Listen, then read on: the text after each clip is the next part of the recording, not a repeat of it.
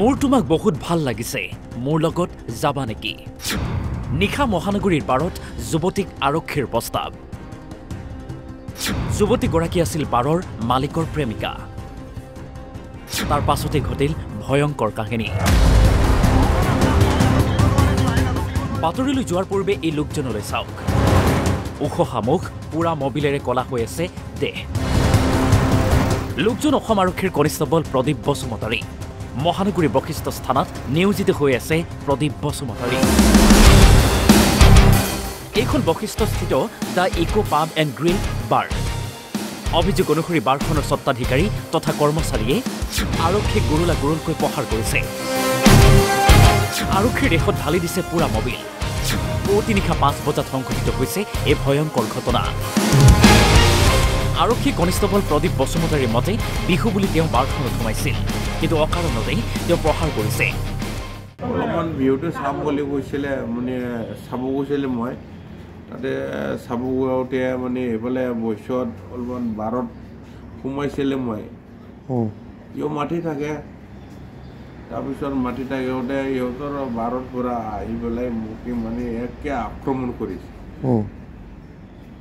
একো কৰি পেলাই মোকে একে কথা ক'ব চান্স দিয়া নাই। ডাচ ডাচ দি দিলে। মই বহুত দুখ লাগিছে বহুত মাৰ মাৰিছে।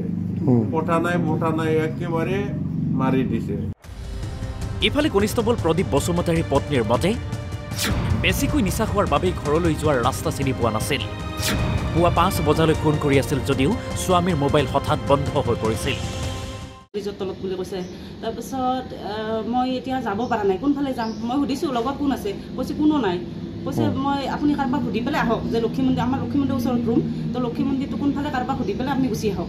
তেনেকৈ ক'লোঁ কৈ পেলাই তেওঁ মানে আহিব পৰা নাই বাইকটো চলাই পেলাই ষ্টাৰ্ট কৰি পেলাই। তাৰপিছত এনেকৈ ফোন কৰিয়ে আছোঁ। ৰাতিপুৱা ঠিক পাঁচটা ন লাষ্ট ফোন পাঁচটা নত ফোন কৰিছোঁ। তেতিয়া কৈছে বিউটি মই গৈ আছোঁ বাইক ষ্টাৰ্ট দিছোঁ দে। মই কৈছোঁ ঠিক আছে অলপ পোহৰ হৈছে আৰু মোৰ টেনশ্যনটো কমিল আৰু। যিহেতু আৰু পোহৰো হৈছে আৰু মানে আহিব পাৰিব আৰু এই ভাবি বা ওচৰত কোনোবা মানুহটো পাবই লগত এনেকৈ ভাবি পেলাই। তাৰপিছত পাঁচটা নৰ পৰা মোবাইলটো নট ৰিচিবল নট ৰিচিবল মানে ফোন নালাগে নালাগে নালাগে এনেকুৱা হৈ আছে। তাৰপিছত আৰু মই এই লগৰ যে প্ৰাঞ্জল শইকীয়া বুলি আছে তো দাদাই মোক ফোন কৰিছে ডিউটি বস্তুক বোলে এনেকৈ বাৰত বোলে বান্ধি থৈ দিছে আৰু মাৰিছে তাক পেট্ৰল ঢালি দিছে মালিকে ফোন কৰিছে। মইতো মানে বহুত বেয়া লাগিছে শুনি পেলাই। মই এতিয়া কি কৰিম?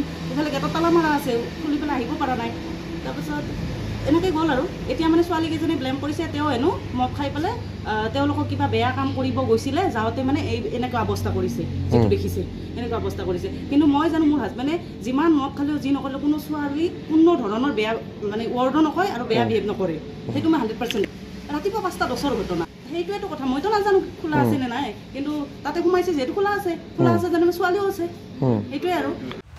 ইতিমধ্যে ইকো বাৰৰ কৰ্মচাৰীয়ে অভিযোগ কৰা অনুসৰি বাৰখন বাৰ বজাতে বন্ধ হৈছিল যদিও বাৰৰ ভিতৰত পৰিয়ালৰ ব্যক্তিগত পাৰ্টি চলি আছিল। আৰু পুৱা প্ৰায় পাঁচ বজাত নিজৰ কুকুৰটো নিবলৈ বাৰখনৰ তললৈ বাৰৰ মালিকৰ প্ৰেমিকা নামি আহিছিল আৰু তেতিয়াই প্ৰেমিকাক অশালীন ব্যৱহাৰ কৰাত কনিষ্টবলজনক প্ৰহাৰ কৰিছিল। বাকী মই তেনেকৈ একো গম নাপাওঁ কিন্তু মই জনাত আৰু। আপোনাৰ সেই মানুহজন আহিছিলে। মানুহজন আহি ইয়াত ইয়াত সোমাইছে সোমাই আপোনাৰ আমাৰ মেম আছিল। কাৰণে যোৱাকালি আমাৰ বছৰ ছাৰহঁতৰ পাৰ্টি এটা আছিলে বিয়াৰ পাৰ্টি আছিলে। আমি বাৰখন জল্দি বন্ধ কৰি ছাৰহঁতে পাৰ্টি কৰি আছে ওপৰত। ছাৰহঁতে যেতিয়া পাৰ্টি কৰি আছে তাৰমানে আমাৰ এটা কুকুৰ আছে ইয়াত। কুকুৰটো নিবলৈ নামি আহিছিল মেমে কিমান সময়ত? আপোনাৰ চাৰিটা পাঁচটা আৰু। কাৰণ কি পাৰ্টি চাৰ্টি কৰি আছে নিজে নিজৰ ঘৰৰ মানুহে পাৰ্টি কৰি আছে কোনো গেছ নাই সেই সময়তে। তাৰপিছত আপোনাৰ সি আহিছিল। সি নামি আহিছে মেম নামি আহোঁতে সি লগ লগ উঠি গৈছে ইয়াত চিৰিটোত। উঠি গৈ গৈছে মোৰ তোমাক বহুত ভাল লাগিছে তুমি মোৰ লগত যাবা নেকি? আৰু বহুত বেয়া বেয়া ভাষাৰে মেমক হেৰি কৰিছে। তেতিয়া মেমে কান্দি কান্দি গৈ ওপৰত কৈ দিছে। তাৰপিছত নামি আহিছে জাষ্ট তাক মাৰিছে নামাৰা নহয় সঁচা কথা কৈছোঁ তাক মাৰিছে। কিন্তু মাৰ তাক মোবিলটো ঢালি দিয়া নাছিল গাৰ ওপৰত। তাত মোবিলটো থোৱা আছিল কাৰণ কি এইটো জে চি বি শ্ব'ৰুম হয় ন আপোনাৰ মোবিল চবিল থাকে। সি মোদৰ নিচাহত কি কৰোঁ কি নকৰোঁ কৰি চিটিকি গ'ল। চিটিকি গৈ সি মোবিলটোত পৰিছে। তাৰপিছত এই এনেকৈ মোবিলটো তাৰ গাৰ ওপৰত পৰিছে। মানে এই বাৰখন খুলি থোৱা নাছিলে বহুত বা বাৰ খোলা নাই কাৰণ কি আপোনাৰ বাৰ বন্ধ কৰি দিছে বন্ধ কৰি আমাৰ বজতত বিয়াৰ পাৰ্টি আছিল। ঘৰৰ মানুহকেইটাই আপোনাৰ পাৰ্টি কৰি আছিল। লাষ্ট টাইম আমাৰ ছাৰ আছিল আৰু মেম আছিল আৰু আপোনাৰ ছাৰৰ লোক ভায়েক দুজন আছিল এনেকেই আহিছিল আৰু বাকী কোনো নাই ইয়াত। তেখে- তেখেতৰ নামটো কি? আপোনাৰ কিষাণু লকৰ না যিজন মেইন ন। কিষাণৰ লগ হয়। আৰু তেখেতে মা- মাৰপিট কৰিছে কোনে কৰিছে?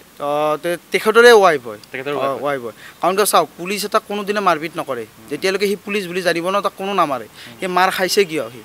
সি নিশ্চয় কিবা এটা ভুল কৰিছে। আৰু সি ৰাতিপুৱা পাঁচটা বজাত আহিব লাগে কি দৰকাৰ আছে একো দৰকাৰেই নাই ন? পুৰা ফুল নিচা- নিচাত আছে। নিচাত আছে। অঁ বিহু চিহু খাই তো সি চাগে ক'ৰবাত এনেকুৱা বেলতলতো বিহু হৈছিল পৰি আছিল। মই আপোনাৰ আমাৰ মানে কি ষ্টাফ এটাক মই সদায় থ'বলৈ যাওঁ খানাপাৰাত। তাক থ'বলৈ যাওঁতে মই ৰাতি তাক পৰি থকা দেখা পাইছোঁ। ঠিক ডেৰটামান বজাত। আপোনাৰ এটা ডেৰটামান বজাত। কালি নিশা? বশিষ্ঠ চাৰিআলিৰ আগত পৰি আছে সি। তাৰপিছত আমি আহিলোঁ ইয়াত আমি খানা চানা খালোঁ এনেকৈ মেমহঁতৰ পাৰ্টি কৰি আছে। তাৰপিছত সি আহি সোমাইছে। আৰু অকণমান আগত যে এগৰাকী লোকক লৈ গৈছে অংকুৰ দত্ত কোন হয়? অংকুৰ দত্ত ইয়াৰ হেৰিয়ে হয় মেনেজাৰ। মেনেজাৰ মেনেজাৰ তেখেতক উঠাই নিছে? আৰু তেখেতেও উঠাই নিছে। আৰু আপোনাৰ আপুনি ইয়াতে কাম কৰে নেকি? মই ইয়াত কাম কৰোঁ। আমাৰ? মোৰ নাম ৰূপম। ৰূপম। মানে এই গোটেই ঘটনাটো মানে পুলিচজনৰ সম্পূৰ্ণ ভুল আছে? পুলিচজনৰ সম্পূৰ্ণ ভুল। কাৰণ কিয় আপোনাৰ চাওক সি পাঁচটা বজাত আহিব লাগিলে তাৰ একো প্ৰয়োজন নাই। আৰু মদ খাবলৈ লাগিল বুলি পাপ সি তাৰমানে সি আগৰ পৰাই জানে নেকি এইখন যে পাঁচটা বজালৈকে খোলাই থাকে। সেইটো সি অলৰেডি মিছা কথাই কৈছে ন সি জানে এইখন বন্ধ থাকে বুলি। কিয় বশিষ্ঠ থানাৰে ন সি? সি গমেই পায় এইখন বন্ধ থাকে বুলি। তাৰপিছত কিয় আহিছে পাঁচটা বজাত আহি পেলাই সেই মেমক অসভ্যালি বালি কৰিছে চিৰিত অকলে পাই কিনে। অকলে অকলে কৰিছে কিবা গাত চাত টাচ টাচ টাচ কৰিছিল নাই গাত টাচ মানে কৰিব খুজিছিল যদিও নাপালে চাগে নিচাৱৰ আছে মেম উঠি গুচিয়ে গ'ল আৰু ভাষাখিনি কোৱাৰ লগে লগে তাৰ লগত যাব লাগে কিবা লাগে এইবিলাক কোৱাৰ লগে লগে উঠিয়ে গ'ল মেম। তাৰ পাছতে ঘটনাস্থলীত উপস্থিত হয় আৰক্ষী। ইতিমধ্যে ঘটনা সংক্ৰান্তত বশিষ্ঠ আৰক্ষী থানাত পৃথকে পৃথকে আৰক্ষীক প্ৰহাৰ যুৱতীক অশালীন ব্যৱহাৰ কৰ্তব্যৰত আৰক্ষীক বাধা দিয়াক লৈ ৰুজু হৈছে গোচৰ। ঘটনাৰ সৈতে জড়িত বাৰৰ দুই স্বত্বাধিকাৰী আৰু দুয়োৰে প্ৰেমিকাৰ লগতে এজন বাউন্সাৰক আটক কৰে। সোধা পোছাৰ পাছত দুই প্ৰেমিকাক যাবলৈ দিয়ে যদিও স্বত্বাধিকাৰী অংকুৰ দত্ত কৃষাণু লস্কৰ আৰু বাউন্সাৰ দেৱকান্ত দেৱনাথক গ্ৰেপ্তাৰ কৰে। এতিয়া প্ৰশ্ন হয় মহানগৰীত সুৰক্ষিত নহয় নেকি আৰক্ষী? কঠোৰ নিয়মৰ পাছতো নিশা বাৰ বজাৰ পাছতো কেনেকৈ খোলা ৰাখিছিল বাৰ? আৰক্ষী কনিষ্টবলজনে বাৰলৈ গৈ কি কৰিছিল? পুৱতি নিশা কিয় সংঘটিত হ'ল এই অবাঞ্ছিত ঘটনা। এজন আৰক্ষী কনিষ্টবলৰ গাত হাত দিয়াৰ সাহস কেনেকৈ পালে? ঘটনাৰ আচল দোষী কোন? আৰক্ষীয়ে ইতিমধ্যে আৰম্ভ কৰিছে তদন্ত আৰু আৰক্ষীৰ তদন্ত অন্তত সকলো কথা পোহৰলৈ আহিব। খেপি বৰা মনোজ দুৱাৰা আৰু জিতুমণি দাসৰ report Assam night twenty four.